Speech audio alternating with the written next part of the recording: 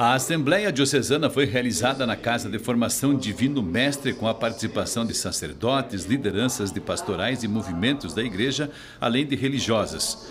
Foram discutidos muitos temas para a elaboração do 16º Plano da Ação Evangelizadora para os próximos quatro anos. A base foram as diretrizes da CNBB aprovadas na última Assembleia Geral da Conferência Nacional dos Bispos Brasileiros e seus quatro pilares. Palavra, iniciação à vida cristã e animação bíblica.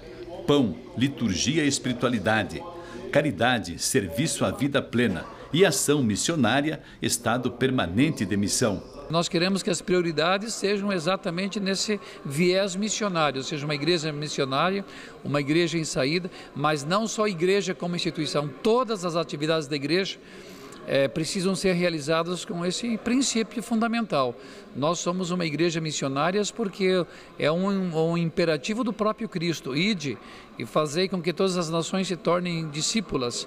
Até o final do ano devem ser realizadas assembleias paroquiais para levar as decisões a todas as comunidades. A intenção é que cada aspecto da ação evangelizadora seja trabalhado nas comunidades de base, com ênfase às famílias. Queremos que as famílias sejam colocadas em primeiro plano da nossa ação evangelizadora.